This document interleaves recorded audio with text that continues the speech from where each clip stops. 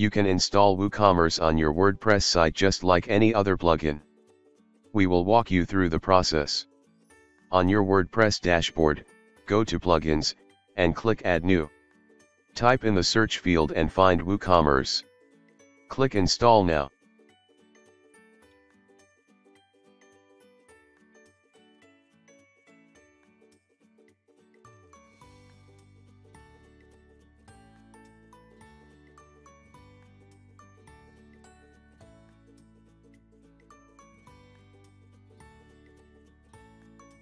Once the plugin is installed, the Install Now button changes to Activate. Click the Activate button to enable WooCommerce. Now you can see WooCommerce in the list of installed plugins. Also, on the dashboard, you can see WooCommerce and different settings related to it.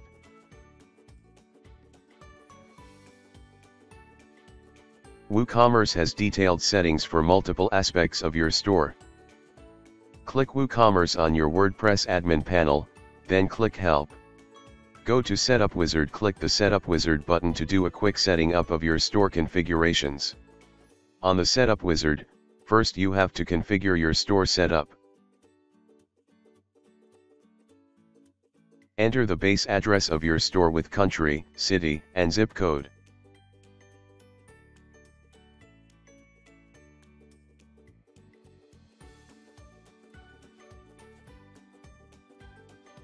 Here you can specify the currency that you want to use. Finally, choose what type of products you want to sell. You can choose to sell either digital or physical products, or both.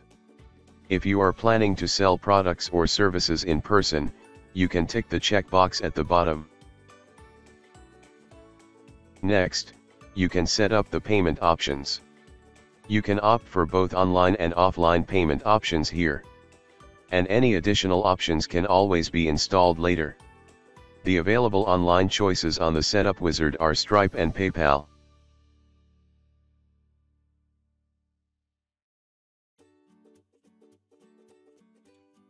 You can also choose offline options such as check payments, bank transfer, and cash on delivery also here.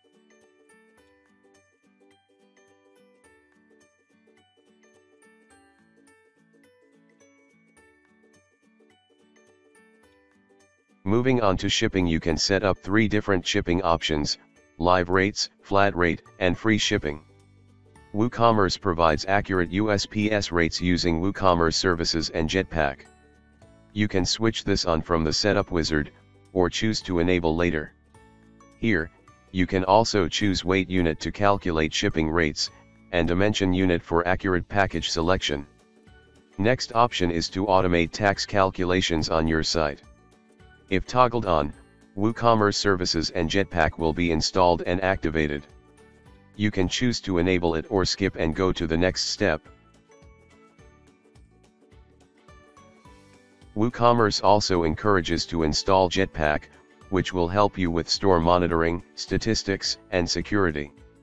You can either toggle it on, or skip and go to the next step. With that, the primary configuration of your WooCommerce store is complete. Here the setup wizard suggests possible next steps that you can do. You can choose to join the WooCommerce email list to get tips, product updates, etc. Or, go to product settings and create your first product. And if you have a set of existing products on your site, you can import them from a CSV file. You can also go through the guided tour videos and other details on the WooCommerce site. Clicking on the bottom link will take you back to your WordPress admin dashboard.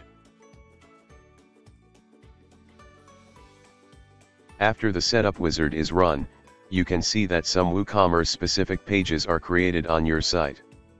On the WordPress admin panel, go to Pages, and click All Pages to see Cart, Checkout, My Account, and Shop pages already created. You are ready with a basic configuration of WooCommerce now.